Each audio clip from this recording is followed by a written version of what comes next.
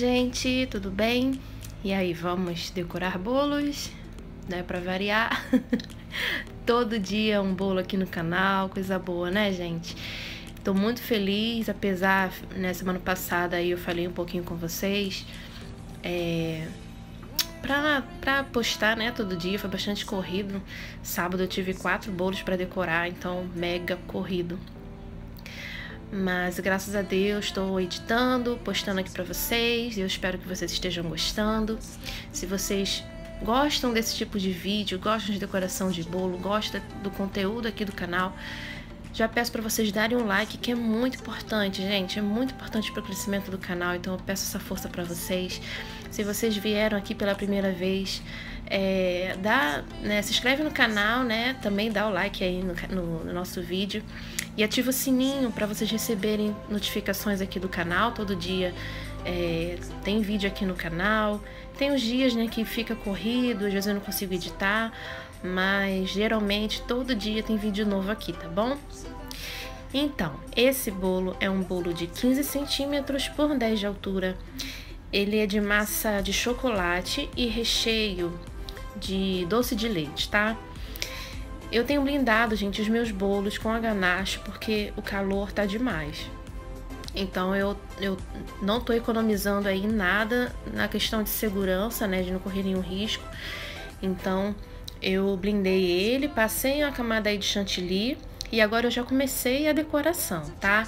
Esse bolo, né, como ele é bolo da Barbie, né, como vocês viram aí no tema, ele é todo rosa e ele vai ser todo pitangado, tá? Eu comecei a pitangar aí com o bico 1M. É, eu tô usando rosa bebê da Mago. Então eu botei ele bem clarinho, rosa bem clarinho. E fiz aí a primeira camada com a... Com o bico 1M, tá? E agora, na segunda camada, eu coloquei mais corante, né? Pra dar aquela...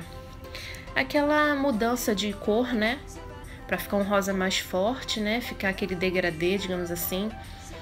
E tô usando o bico 4B, tá? Eu acelerei, acelerei não, né? Eu cortei aí porque é praticamente isso que eu vou fazer em todo o bolo, tá bom? Então eu fiz uma camada com o bico 1M, em cima com o 4B e vou intercalando até a parte de cima, tá bom? E é isso, tá? Eu vou, tô fazendo já a última camada aí da lateral, eu vou repetir o mesmo bico porque eu achei que ia ficar legal, mas se vocês quiserem continuar intercalando aí, vocês podem intercalar. E, e é isso, tá? Vou fazendo aí a parte de cima, é, também sem segredo nenhum, né? É, eu falei que esse bico é o 4B, né? Eu já falei, né?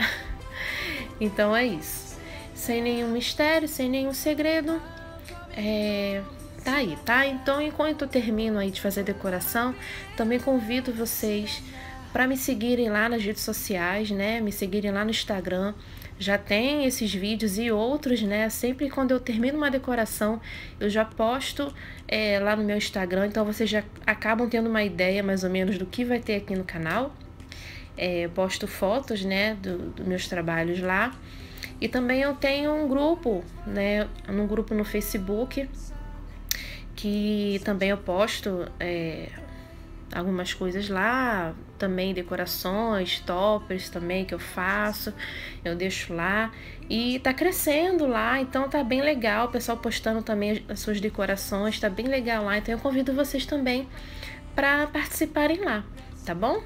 Então, gente, já tá finalizado aí, né? Eu fiz o trabalho aí, né? Intercalando os dois os dois bicos.